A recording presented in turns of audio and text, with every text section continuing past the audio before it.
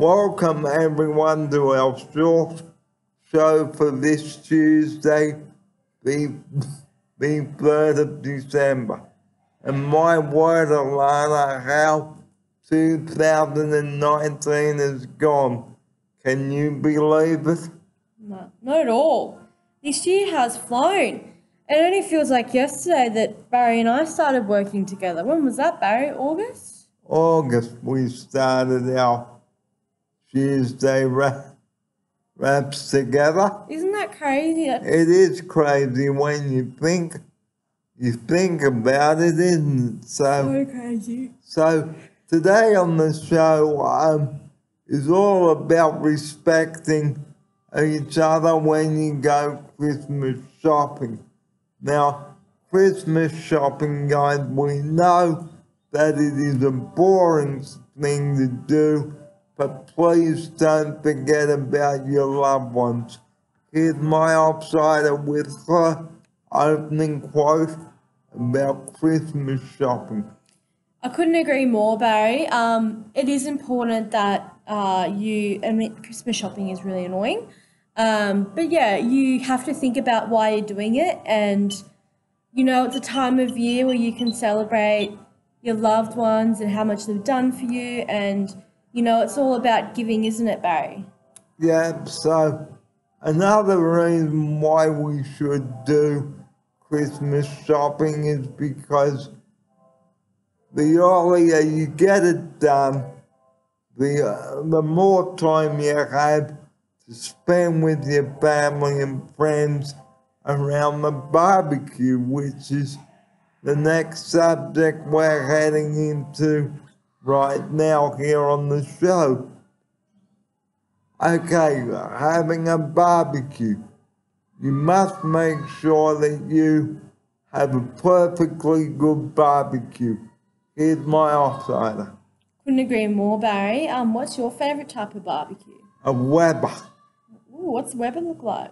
A Weber is something on wheels which you can fold up and put in the back of your, your station wagon and take it anywhere. So if you want to cook breakfast on it or your lunch or a pizza or your baked dinner, guys, grab a Weber, buy a Weber. See the staff at Bunnings Warehouse or Barbecues Galore, and they will tell you the best barbecues to buy for the summer months. And even here at the studio, guys, we are going to be purchasing one.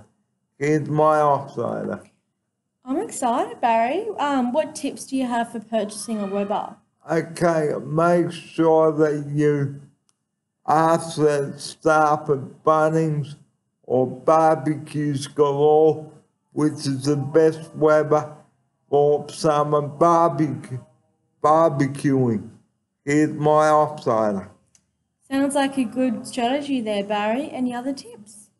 Make sure you check your warranty and your gas bottle if you are buying a big barbecue. Because if your gas bottle's out of date and you try to start your barbecue, guys, you could be outside having a barbecue with your mates and then all of a sudden, kabang, your barbecue will explode. Sorry to have to say, guys and uh, guys and girls and viewers alike out there, but that's the truth of the matter. If you've got a faulty barbecue, please do not use it because if you do use it, kabang, in my offsider. Kabang, that can happen. You're exactly right, Barry. Um, you need to learn how to use barbecue responsibly before you use it. and keep matches out of the reach of children and wild guys. Because if they, if you've got surfs or matches near the barbecue, near a gas bottle, and the gas ignites, again, kabang, and it could cause a fire. Here's my offsider. You don't want that happening, do you, Barry? No, you don't. So, we, earlier this year, we spoke about safety in the home and what to do in a fire at home. Here's my offsider. We did, didn't we, Barry? And the thing with fires, guys, they can be very deadly. And never use your barbecue as heaters indoors during the winter time. Because again, kabang, your house could go up. Make sure that you've got insurance. Here's my offsider It's pretty scary, isn't it, Barry? pretty scary